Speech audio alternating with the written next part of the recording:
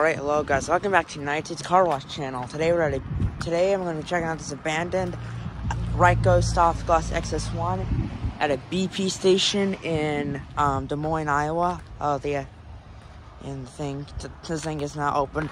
Whoa, not open anymore, I don't think. Yeah, here's your AMTT. Let's see. Oh, there's an old Rykovac. This is, this is like Oh, yeah, this place is not open anymore. There it is.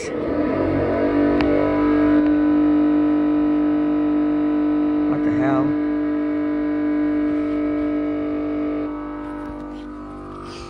Don't know what that noise is. I'm gonna go around the front. Front.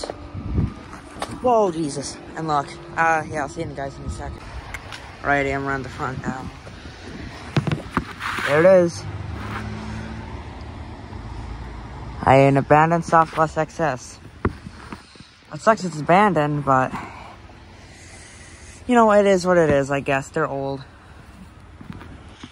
Alrighty, so thank you guys for watching the United States Car Wash channel. Please be sure to Oh, gosh, keep on following this. I just, oh, um, guys want a like specific location, just in case you can't find the address, it's, um, right next to Joey's Auto Shop and right across from um, Des Moines International Airport. Alrighty. So yeah, that's it. Alrighty, so thank you guys for watching tonight's Car Wash channel. Please make sure to like and subscribe. That'll be it. Hope you enjoyed. Have a great day, everyone. And we are now on our way to grind.